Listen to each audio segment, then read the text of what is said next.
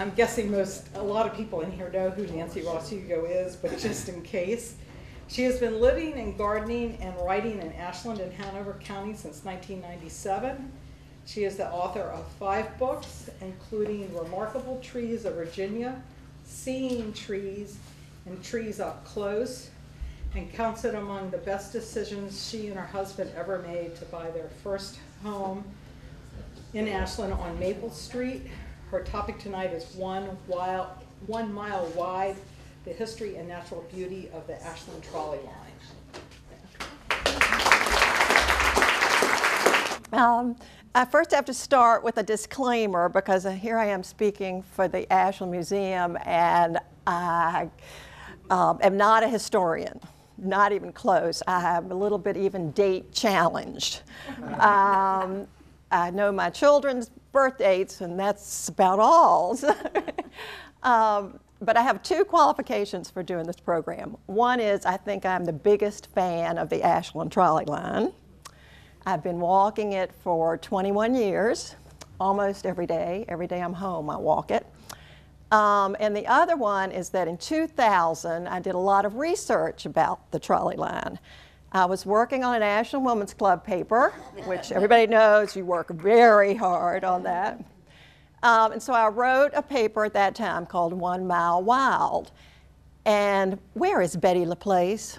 She's here. Oh, I was going to say, Betty LaPlace asked me, I thought if Betty didn't come here after she got me into this. Betty asked me if I would read that paper to this group. I said, sure, no problem. Well, then I went and looked at the paper, and there were so many dated things in it and so much new information, and I thought, oh, can't just do that. So, anyway, I ended up trying to blend that paper into a PowerPoint presentation. Have no idea how this is going to work. Um, I hope it works, and we'll just see. But most of it is, I'm going to be reading to you uh, for a couple reasons. It is a paper, and the other is I want to get the facts straight.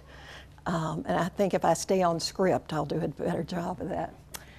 Um, let's see, other things. I wanted to tell you what my sources were. Um, th those of y'all who are sitting on that table are sitting on lots of the things I read.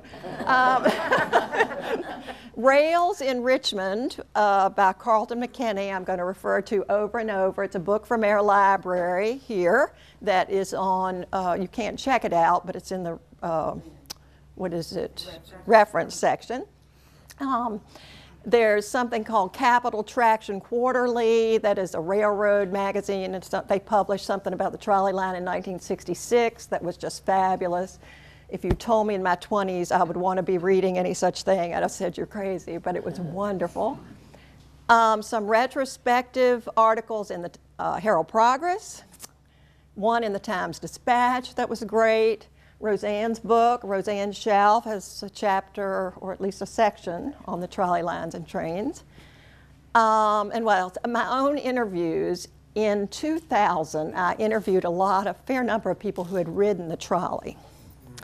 And a fair number of them are gone now, which is sort of, that's another reason I'm sort of glad to be sharing this history. It is so incredibly interesting.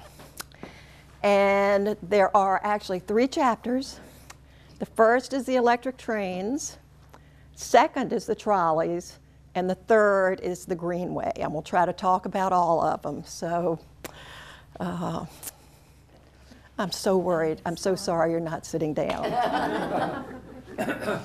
um, okay, the first thing is where is it? And the other thing I'm not is a cartographer. I put south up at the top. My husband looked at this and went, Why is south at the top? well, that's the way I picture it. So, anyway. But here's where it is. This, it, these are the railroad tracks headed south out of Ashland. Okay? That's the way it works in my head. I don't know why. Uh, Guap, there, here's the Ashcake Road uh, intersection. Gwathmey Church Road intersection. The trolley line trail is here. Uh, where is Donna? The Whiteway, is it, this is their house. It's a big Victorian back there. This is my house. This is Gwathmey uh, Church. I'm going to talk later about some of this. This is where the new uh, concrete, oh, help me, boardwalk is going to be, is where this little red area is. This is the troublesome problem right now. This is where there's a gate and it's hard to keep going. I'll talk more about that later. But do you understand where it is? If you all in the back want the lights off or on? It's up to you. Okay, okay. Um, the other important thing is that even though I've titled my paper One Mile Wild or One Wild Mile, it got interpreted both ways, um, it's really only a half a mile. But it sounded so much better to say one wild mile. And also, I walk up and back. And so does most everybody else. So it's usually a one mile walk. Okay, so that's where it is. This is the sign you would see if you enter at the south end, which is down at Gwathmey Church Road. This, now I'm going to move to my paper a little bit. Um, because physically, this is what's so interesting about one of the things that's so interesting. Can you hear me way back there? Ooh. It's so it is elevated. This you would pretty much never see this scene because I had to crawl down to the bottom to take this picture up there, but it's elevated. Um, at some points, the earthen berm is 25 feet high and that's above ground level. So you're looking as you walk, and this is one of the things I love about it. You're looking into the middles of the trees. Not you're not on the same level as the trees. It's very interesting perspective. Um, you can, you, and you're going through a wetland. You've got your head high and your feet dry, but you're walking through a wetland. Most of it's a wetland. Um, so what, when I walk this, I feel like I have the perspective of a person 30 feet tall. And this is Stony Run coming through that culvert right there. Um, so my first question about the trolley line was how was it built? It's an enormous berm of soil going through there. And my first answer came from that Carlton McKinney book, Rails in Richmond, and he said that the trolley line, that I'm not I'm gonna call it the train line at this point, that the line to Richmond had been built, well, I knew it was too, what, too young to have been, built by bulldozers, too old to have been built by enslaved people. So, how could it have been built? And he said that the, most of the line was built by um, teams of 16 mules working to move the soil. Well, he was still alive at the time I started this research. He's not now. But when I, I just, my mind went crazy over that. Every time I walked it from then on, I was picturing mule teams with 16 mules working on the sides of that berm. And he burst my balloon by saying, Well, in your area, there were probably only four mules to a team because it was a little bit harder to maneuver. But anyway, so mules were the answer. And they were pulling uh, scoop shovels. And evidently, that is sort of like a plow, but it's a scoop and it has handles, and they would dig down, get a scoop of shovel, and this was built shovelful by shovelful of dirt. And then my next question was where did the dirt come from? If you have ever tried to put one inch of topsoil on a tiny garden, you know that just it's like doing it with a thimble, it just takes so much. So nobody really knows, but it probably came from fields in the area, maybe from the White Whiteways field, maybe from my backyard. Maybe that's one reason, even today, there are huge sort of uh, things that don't look like the normal wetland holding water. I think, oh, that scoop went too deep there. You know, they may have just piled it up right there from the sides and went up 25 feet. But it's an interesting question to me. Um, let's see. What's the other thing that makes this sort of ironic for me is that when they did that, of course, it must have been an ecological catastrophe. You just don't move that much soil without destroying plant and animal habitats. And I think it's sort of ironic that this is this area I enjoy so much um, went through this difficult period, and it's now, It's not a pristine place, it's like a comeback place. But it has made a terrific comeback, and it's had 100 years to do it so far. So, what traveled this giant earthwork? From 1907 to 1917, what traveled this elevated berm? It's probably not what you think. They weren't the quaint little streetcars that you think of in San Francisco, or the ones that later traveled our trolley line. They were large, heavy electric train cars. The berm we walk on today was built to accommodate high speed electric trains. Real trains, only powered by overhead electrical lines called pantographs. That's my new favorite word, pantograph. What we now call the Trolley Line Trail was originally part of an ambitious plan by the financier Frank J. Gould to carry freight and passengers from Norfolk to Fredericksburg via Petersburg and Richmond, with branches to Tappahannock and points on the Chesapeake Bay.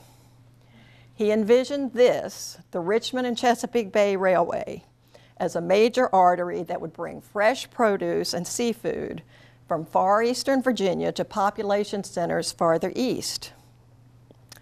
Only the Richmond to Ashland section of this ambitious railway was ever built, but that portion that was built was really well built.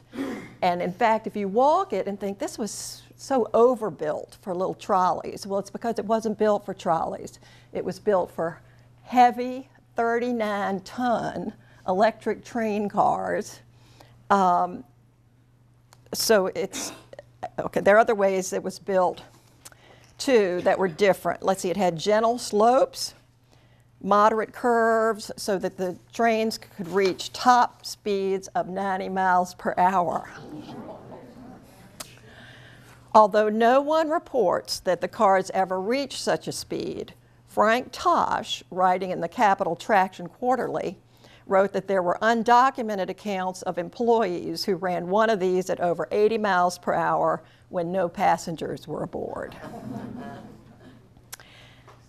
And although they look about the same in a lot of the pictures, you have to really sort of train your eye to know the difference between the electric trains and the trolleys. Um, the cars were different in appearance than the trolleys that came later. And the trolleys came between 1919 and 1938. I'll get that in a minute. Um, oh, actually, hold on. I have, I'll find them. Oh, here. I made these cards for other date challenged people. and I take it only if you're date challenged because it'll keep those straight. It's so important to me to keep the date straight between the electric trains and the trolleys. Okay. Um, all right, so here's how they were different.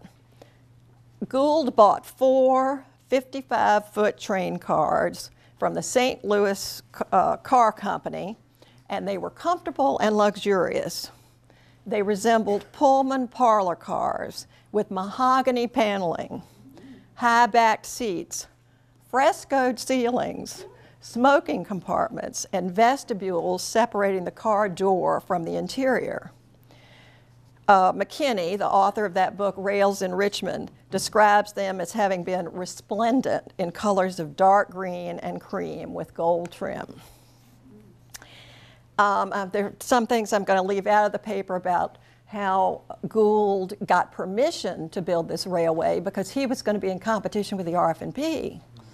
So that was not easy, but he did get permission to do it.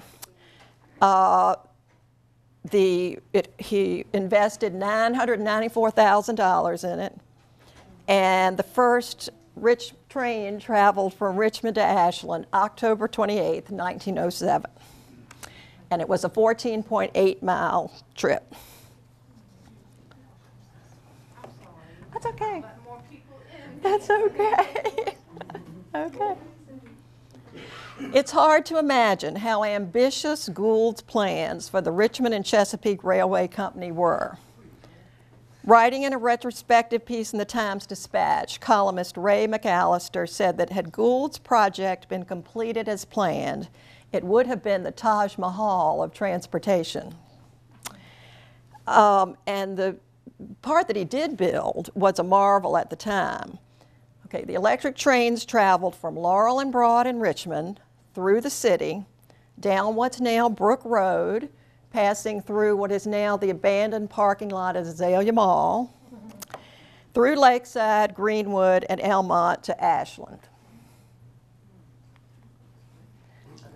All right, that shows the stations, and um, look how many, look how close together, tenth of a mile between Francis Street and McMurdo. That's where, the, that's where it stopped. Okay. Oh, and, oh, well, oops, I'm getting ahead of myself. Oh, well.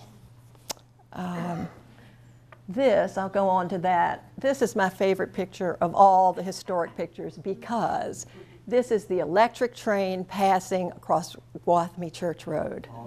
This is, those are, I know everybody in here hate acting like everybody knows everybody, but the Whiteway, Badonna Whiteway is here.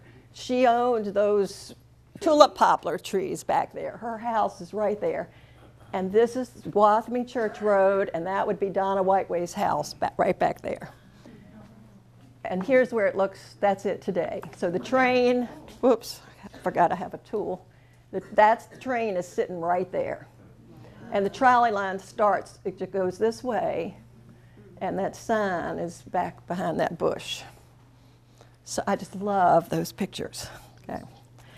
Okay. This when and when you got to Richmond. Oh, uh, this is from uh, Woody Tucker. He, I don't know. I have not seen this anywhere in any publication. And Woody, Woody, where'd you find it? Where's Woody? Well, anyway. Um, can you read? The, I love it. This is the schedule of not the trolleys, but the electric trains that preceded the trolleys. And I love it says no smoke, no cinders, blah, blah, blah. And it says it does it, go, visits all these stops in 35 minutes. Okay. All right. This is the train station at Laurel and Broad. And you can see it had steps going out the front, but the trains came in the back on the second floor, had wonderful little shops on the side. This is where it was. This is again not a cartographer. but anyway, it's at the intersection of Laurel and Broad, and it faces Broad. I had turned it upside down to show you that, and I went, no, that's not good. but anyway, that's where it's. And here's the interesting thing. In 2000, I visited, and it had been covered up by Richmond Glass Company. The guy took me around and showed me the trains came up, came in here, up on the second floor. This, you can't really quite see it, but it says colored on this door. It was the, the door, it was still on the door, white colored, different uh, restrooms. Okay, so Richmond Glass has covered it up. Well, now, last week, Betsy Hodges took us, a group down to VCU, and it's been uncovered. It's fabulous. It's called the Depot. Everything is back. They even have the shops on the sides. It has been beautifully renovated. It's the Center for Creative Economy now, run by the cutest little guy, little guy, young man you've ever seen. um, this, I love this because 1907, when it first ran, Richmond, they have just done an incredible job. This never happens, does it? but they uncover it and uh, they bought it for a million dollars and put 6.8 million dollars into it. Anyway, it's so wonderful, and they even have these nods to its uh, sort of dark past. These are the steps that the uh, African Americans had to come up. They couldn't come up the front steps. These are the other steps. Um, this is the shows how the train came into the second floor, colored waiting room, white waiting room. Anyway, it was a, that's what it was. It also was really well built because those trains were so heavy. The uh, foundation and the beams and everything were, were extra huge. Anyway. So, let's see where I am. So, the Ashland station, where am I? Way less elaborate, but here it is. Um, I like this picture, and I'm going to show you. There's another one. You, this helps place it because there's is it the Masonic, Lo- Lodge. Sweet, oh, sorry. Sweet Frog would be, Just past sorry, behind there. Yeah. It faced Maple Street, not England Street. And the short side was like that. Yeah, that's what you would. Okay, so, and this is going to confuse historians forever because at least three of the books on this subject refer to the fact that the train station stood on the site of the post office. and for people who are new to Ashland, you may not know, the post office used to be over here where the Wilton building, is it the Wilton building, is now. It's going to confuse them forever. so, anyway, that's sort of important to know. Okay. See where I am.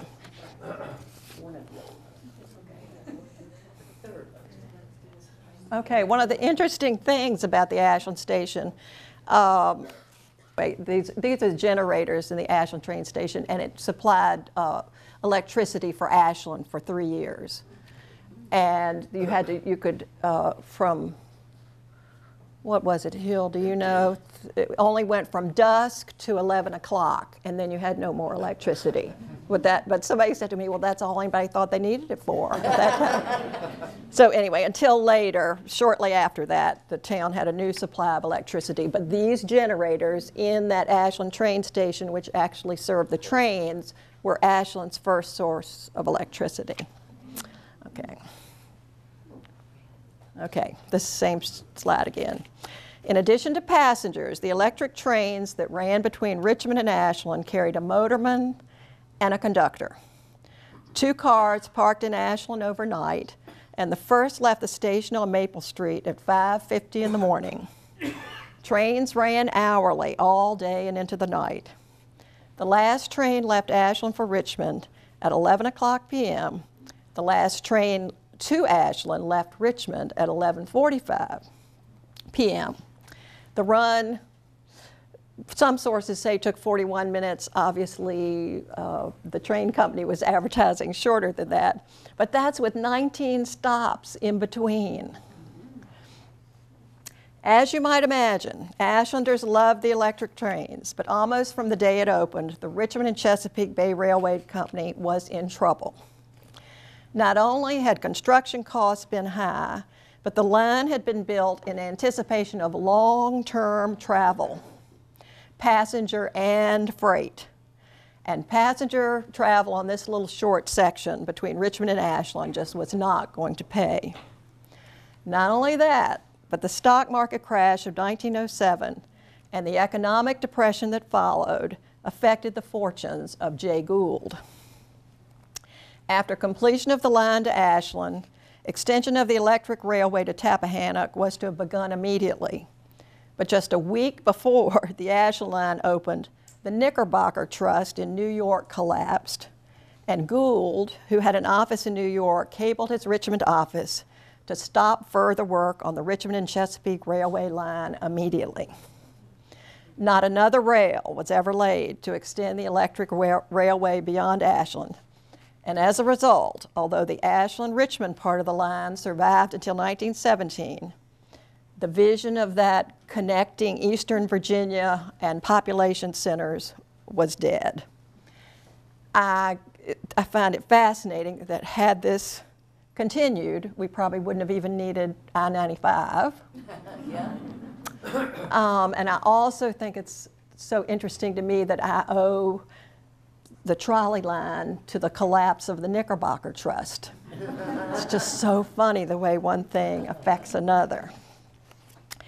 The last electric train to run between Richmond and Ashland ran on December 20th, 1917, marking the end of Chapter 1 in the history of the trolley line trail. Chapter 2 began uh, in 1919 when, after purchasing all the assets of Gould's company for $135,000, remember he had invested 994 in it, um, two prominent Richmond businessmen and their investors began operating the Richmond Ashland Railway along the tracks that Gould had built. Now, do we want to switch seats?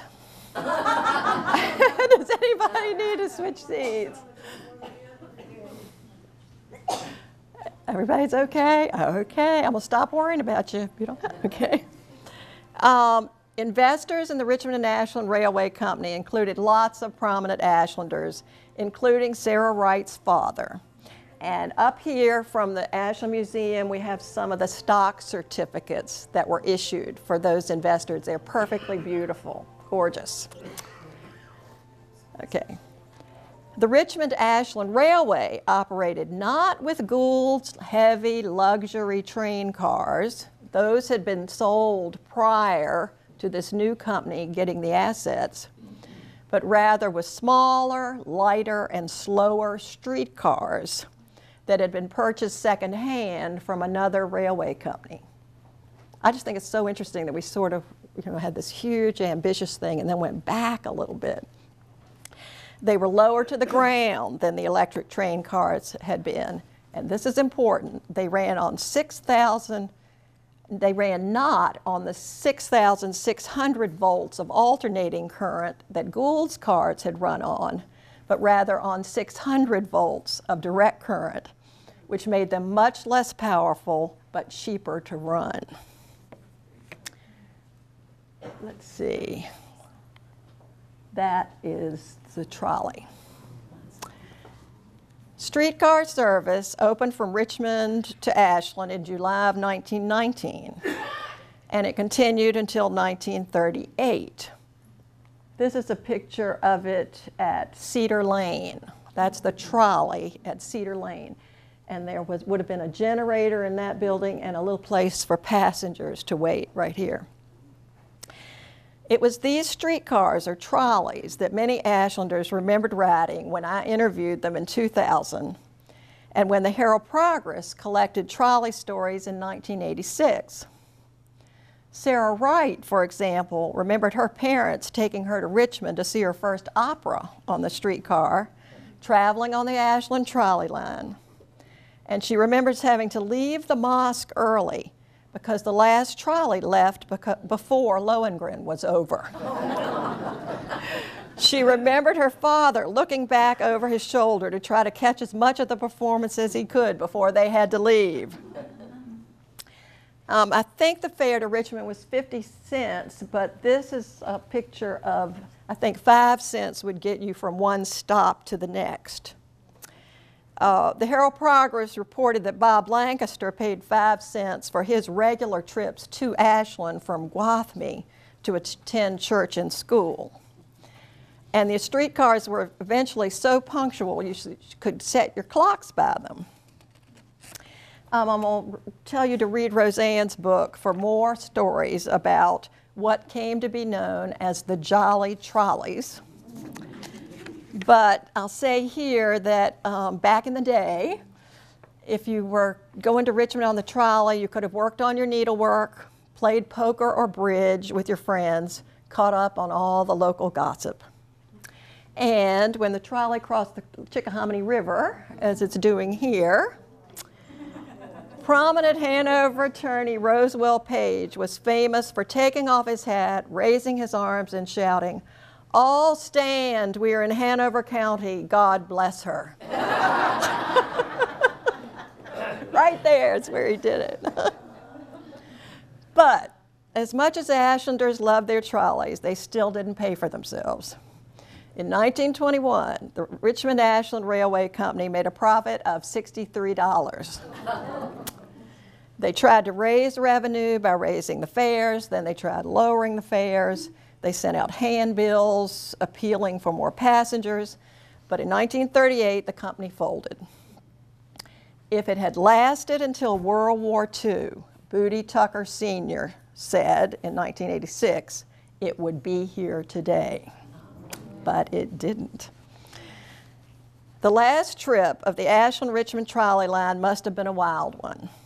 McKinney says the last streetcar left Ashland at 11 p.m. on March 22, 1938, and that the car was loaded with nostalgic fans who removed souvenirs, shades, straps, bell cords from the car and from the Richmond passenger station. Then they returned to Ashland, whooping it up with a passenger at the controls. Reporting the same shenanigans, the Herald Progress even named names. Clyde Barnes is quoted as saying, We took the motorman and sent him to the back seat. the Edwards boy was the motorman. Ann Sheenery drove the car, and Billy Puryear manned the whistle. Lord, I reckon it was 40 people in there hollering and shouting and drinking whiskey. Evelyn Hughes reported that firecrackers exploded all the way back to Ashland, and that residents for miles were awakened by the whistle as it blew steadily for the last five minutes of the trip between Gwathmey and Ashland. As the cars pulled into the Ashland station, Ms. Hughes reported that all passengers were gathered in the aisle singing Auld Lang Syne. Soon after that, the property of the Ashland, uh, Richmond Ashland Railway Company was sold to a scrap metal dealer who took up all the rails, and somebody back there pick up the rail on that table, that, bo- bo- that uh, Woody. Two hands. It is so heavy. Um, anyway, they sold the rails, scrapped the streetcars, uh, sold the remaining scrap metal to Japan, and you've probably heard this story. Because this happened so close to the bombing of Pearl Harbor, Hanoverians speculated that their beloved trolley had been sold to Japan and thrown back at them in the form of shells and bullets. So that's the end of chapter two in the trolley lines history. I call that the streetcar chapter. Okay. Chapter three began in 1994. And where is Gisela Carson? She's in this picture. There she is. Uh, and Betty Lacey took it. So anyway, there are a lot of Betty's pictures in here. I hope I've recognized all the people who contributed pictures. Um, it was designated a greenway in 1994 and made part of Hanover County's park system. John Hodges, raise your hand, John. Barbara Nelson, I think I saw Barbara Nelson, and Angie Lacombe. Everybody remember Angie Lacombe? Spearheaded the effort. Angie was a town council member and worked as trails coordinator for the Department of Conservation and Recreation. Later, she was a volunteer for the Metro Richmond Greenway Committee, and her vision was a walking, biking, and horseback riding trail that would start at Carter Park, travel to Gwathmey, then go south through Elmont, Lakeside, to the Lewis Ginter Botanical Garden. And when I worked there, we did not consider that a pipe dream. We thought it was coming any minute. Um, and then there was also the vision that it would go to Maymont from there. This is not dead. I'm getting ahead of myself, but um, somebody called me this mo- no, emailed me this morning from the Richmond Planning, Richmond Regional Planning Office. Wanted to know something about the trolley line, and they're seriously considering the extension to Lakeside, uh, to, yeah, Lakeside. And there's also uh, talk uh, about a green, the Greenway becoming part of a Washington to Richmond cycling trail. Um, today, let's see here, this is Stony Run, and I, I don't know why I can't see it, but those of you who walk it, is Linda Cole here? Yes, oh, that, that's, sorry, okay. So Linda Cole, their, their bridge would be down here somewhere. They have the beautiful property uh, to the, huh? The last lane down there that crosses all the way, it doesn't look like it's. Oh, uh, can you Way up see there, it? Way up there, at the very top. Oh, is it up there? Uh-huh, Okay. I can see it. Anyway, they own the property to the east of the south end of the trolley line. Um, today, the town cro- controls the part of the trolley line north of Stony Run. That's remember Stony Run goes under that big cul- culvert I showed you at first. Um, uh, the county controls the part of the trolley line south of Stony Run, and it's sort of important to know that because if there's something you want to complain about, you need to know which side to complain to. And I complain pretty often. the worst offender is Penline. It is a utility easement, and you know they have to do it. You know they have to do it, but there are ways to do it. Let me see. Did I put? Yes. This makes me absolutely crazy. I don't know the solution. These you, bad pictures, but they. I keep thinking if you've got a cut, could you just sharpen your saw?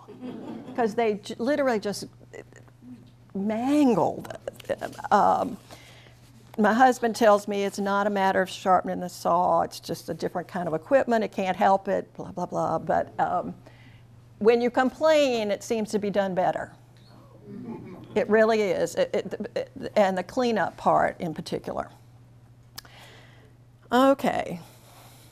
The most important event in our trail's recent history is that in 2016, the town of Ashland got a grant of over a million dollars to improve the trail by, among other things, constructing a boardwalk of precast concrete that will hug Maple Street on the east side, skirting the Walder property or stable foundations, that's what that is now, skirting their property and gate. So, back to this here's where it would be. If you walk the trail, this gate is often locked. There it is. Some of us know that very well. So it's going to skirt that, and you'll be able to pick up. There's Giddy Up Lane. There's a, another little walk, Right. paved walk there. So it's going to mean that you can get through here without trespassing. Uh, that this boardwalk is coming will be good news for those unnamed people who have been ignoring the no trespassing signs for decades. I don't know any of those people. Construction is set to begin this summer to be finished by winter. It's been held up because the power lines need to be raised higher. There will also be some asphalt paving at either end of the boardwalk, but to my enormous relief, that paving will not yet reach the current trolley line trail. And I, that shows you uh, where, if anybody walks down there, that's what those pink uh, flags are showing. That's where the new boardwalk is coming. Um, I am, I don't even know how to go into this, but I am so hoping, or was so hoping, that it would not be paved, that it would not be turned into asphalt. I have, to me, they're two different things. A, there's a thoroughfare that you're trying to get through, or there's a path, and that's about being in it, not getting through it. I, my other argument was going to be that there's so many old people in the population, and they're so much better on their old bones if it's not paved. However, I hate it when a fact gets in the way of a good argument. Uh, I looked up the uh, demographics of Ashland, and 50% of the people in Ashland are under 35 or under. Only 15% are over 65. So they're probably more. I know, every single one of them's here. That's so funny. So the point is that there are probably more people who need a place to cycle than who need a nice soft place to walk. However, um, I do, this is what you get on a path. This is the lumpy, infinitely interesting texture of a path. This is the texture of a, an asphalt trail. I doubt seriously, given the population pressures in our area, that the Ashland Trolley Line Trail is going to remain the kind of path I have enjoyed for so long. But knowing this has made me think even harder about what's unique about the trail as I have experienced it for the past 21 years, because I want to make sure this history is remembered too. It also occurred to me when I was looking at these dates we had electric trains for 10 years, trolleys for 19 years. We've had the Greenway for 24 years. So its history is as important as what went before. So here are some things that are unique about it. It passes through an industrial area. This is what's now called stable foundations. Most old Ashland people call it the Walder property. Um, it's near the north end of the trail, closest to Ashland. There used to be tires and refrigerators and school buses. Raise your hand if you helped clean that up. There are a lot of people in here who probably helped clean that up. It's in, it was horrid, and it is now fine. And in fact, as I pass through all this now, I have come to enjoy the sculptural quality of all that stuff. It can be absolutely beautiful. Here it is again. And I want you to know this cost the city of Richmond $200,000. it did. That is by a famous Colorado sculptor. And we and this, look what we have. This is, that looks like a nest. That is gorgeous. I love it. Anyway. We already have all that. Okay. The trolley line is also notable for being so accessible and so close to neighborhoods. It is not a grand, pristine place or a wilderness area, but it is a relatively wild area where ordinary people can have regular contact with nature, and that is important.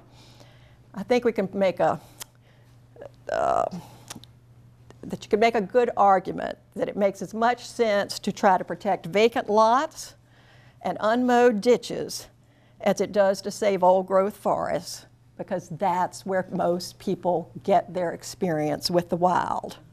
One of my favorite writers, Robert Michael Pyle, once said, What is the extinction of a condor to a child who has never seen a wren? I'd also argue that regularly ride, walking the same route over and over has special value because it keeps you in touch with the rhythms of that particular piece of land. So here's what you might see if you were to walk the trolley line through the seasons.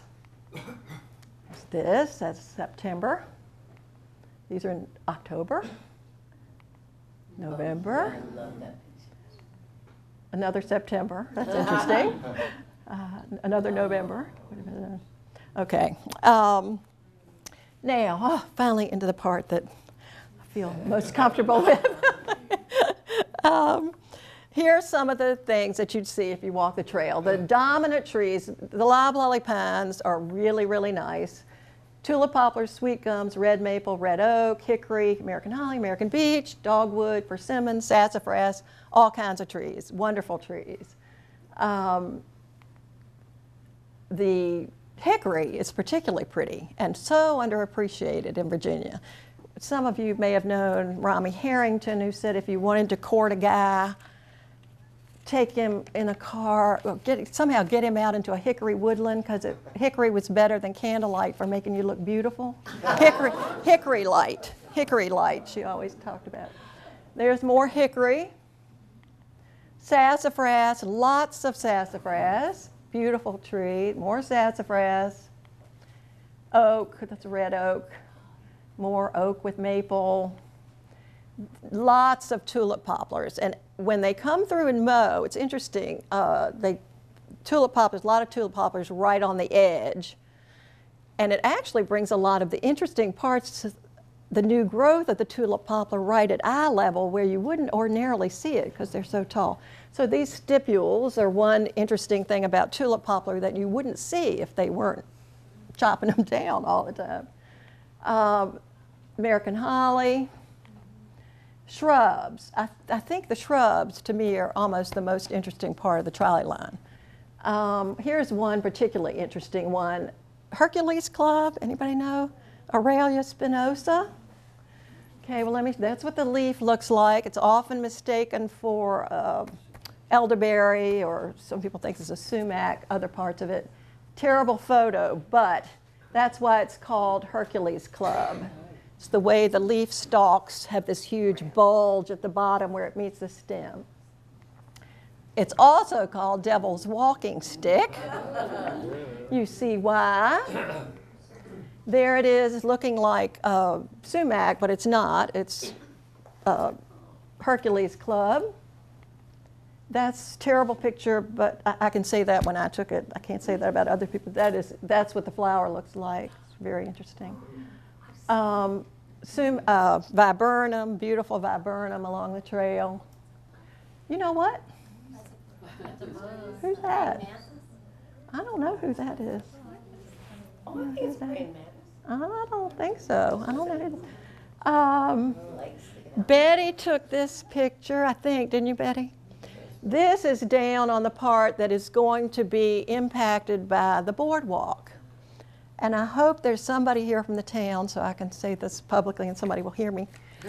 Um, this sumac and uh, sassafras, that kind of thing, if you walk the High Line in New York City, the best landscape architects in the world have put in sumac and sassafras. We already have it. This is liable. I know you have to, if you're building a boardwalk, they're going to have to cut it down. But it would come back up from the roots if anybody has enough sense to just Not- don't mulch over it. Don't try to put grass there. We have this, and it'll come back if, if it's allowed to come back. More sumac, in the, so pretty in the woods. Um, this, several kinds of sumac. We have this winged sumac, and we have smooth sumac. This is, that's smooth sumac too. Um, this, I love this. I think this leaf was falling. It's out of focus, but I think it's falling. Uh, winterberry, lots of winterberry. Luckily, it's way off. It's off in a, a wetland area. Luckily, or people would be picking it. I think it, it's beautiful. There's more of that. Uh, the invasives. This is the I think probably a bigger threat. Paving would hurt the plants in the area less than these invasives are hurting them. If you take time to look at the sort of records that I've kept of the plants in the area, I can tell you we've lost what we're losing plants to is the invasives, mostly Japanese honeysuckle. And somewhere in this room, somebody knows an Eagle Scout or a somebody at the college who needs a community service project. This is doable to pull that uh, Japanese honeysuckle, English ivy, wisteria, a lot of bad things in there.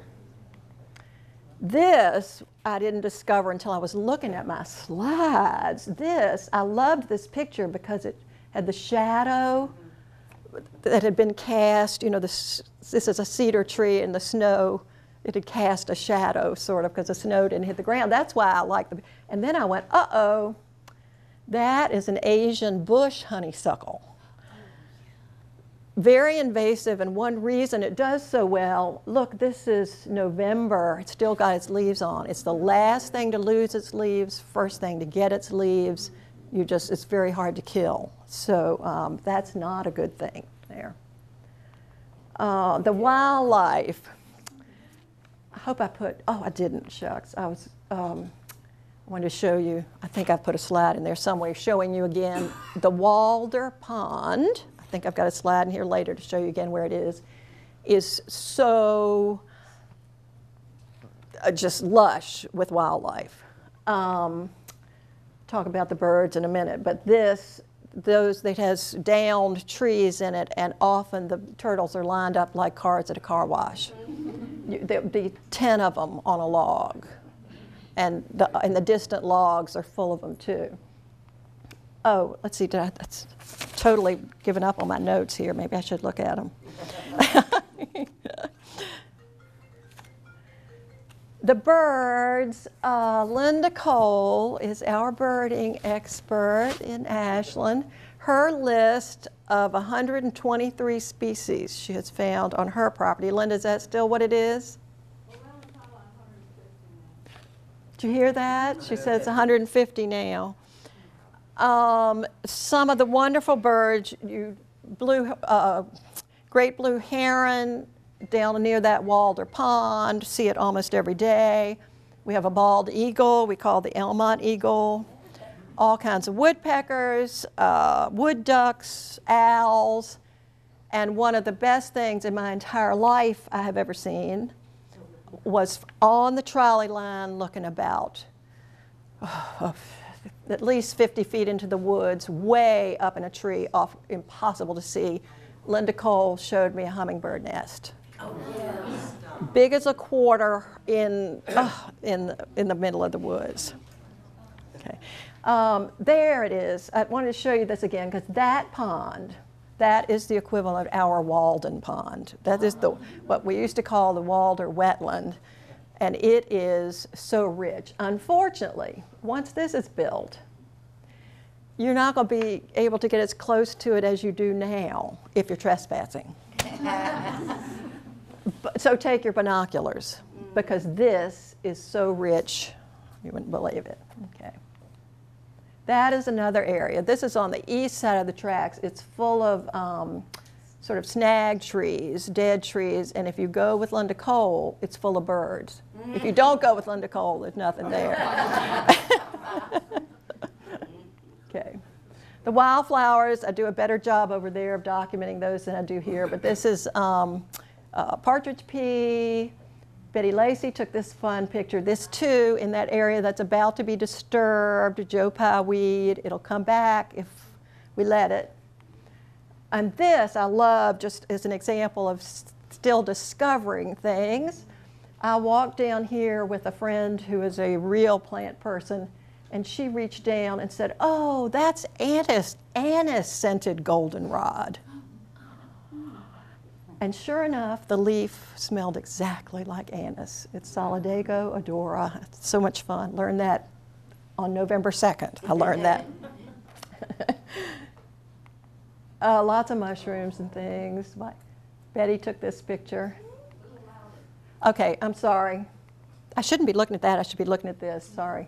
And lots of ferns, different, mostly Christmas fern, and this is a bracken fern. Bracken fern is very invasive, but in this setting, it's just fine. Okay. Okay. This past November, I decided if I was going to make a serious effort to document the natural beauty of the Ashland Trolley Line Trail, I needed to bring in the pros. My own approach to record keeping, as you'll tell from those things scattered on the table, was helter skelter. I'm grateful for the records I've kept. A poor record is better than no record at all. But I have friends who are experts at this, and I invited three of them, all nature journalers, to spend two days with me documenting what was going on on the trolley line, November 1st and 2nd. Uh, this is Rhonda Roebuck, who is a wonderful nature journaler. There she is sitting on the trail working. This is uh, Rhonda drawing wahoo or hearts of busting, which is one of the beautiful shrubs along the line. That's her product, which I absolutely love. It's over here. Do look at, I love it that it has the insects.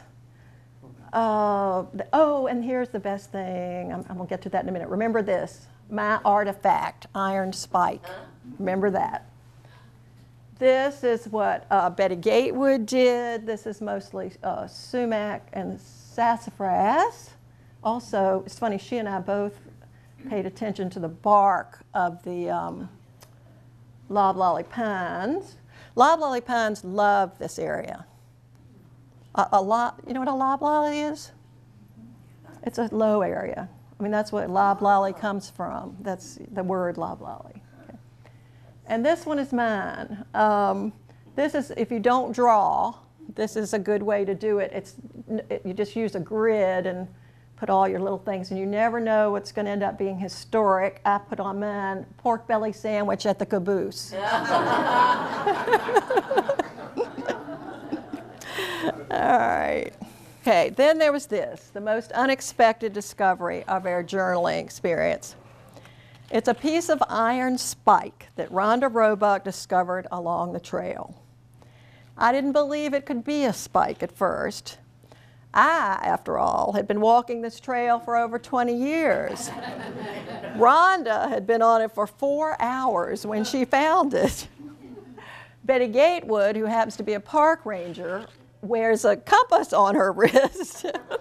And to prove that it really was a spike, they took this, this prove it was iron, and it did make her compass go crazy.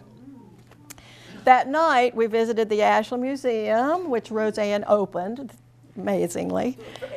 And sure enough, it looked exactly like the, the iron. It's not the whole piece, but here's a spike. They're different from the spikes you find along the. Yeah, tiny. Let's send that around. That's anyway. So it was a spike.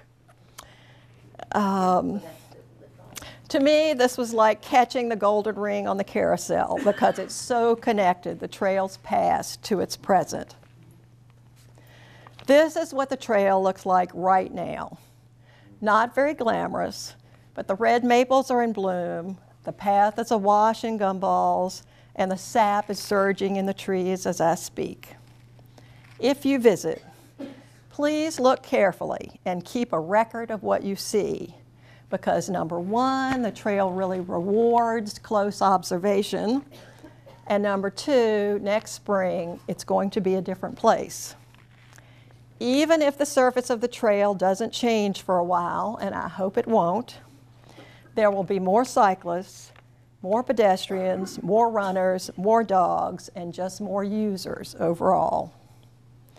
I don't welcome this. But I realize the population of our town and county is growing, and this great space can't remain the private preserve of a few families forever. If there's any one message my research into the history of the trolley line has taught me, it is that things change. As I walk the trolley line today, oopsie, I can almost feel the pulse of passing trains under my boots. On winter nights, I can imagine sparks flying around those pantographs above the trolleys. I can almost hear the sound of that last long whistle from Gwathmey all the way to Ashland. These days, the trolley line is so quiet, the sound of my footsteps crunching on the frozen ground is enough to flush a dozen sparrows. But in my head, I can imagine the jolly trolley crowd carousing in this space the mule teams groaning under their loads, the wide eyed girls on their way to the opera.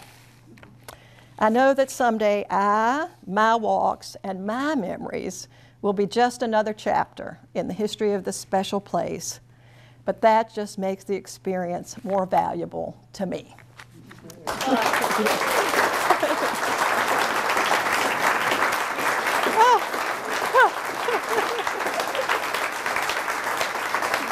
And it didn't take two hours. I was so afraid it was going to take two hours.